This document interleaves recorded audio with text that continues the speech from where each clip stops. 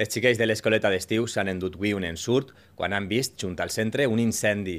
Un dels bancals al costat del campès s'ha cremat. Poc abans de les 11 començava el foc. La brossa alta i seca que hi havia a l'horta ha fet que prenguera ràpidament. Els bombers l'han pogut controlar i evitar que les flames s'arrimaren als únics punts perillosos. S'ha parat abans que aplegara la finca contínua i també s'ha tallat abans que s'acostara al centre.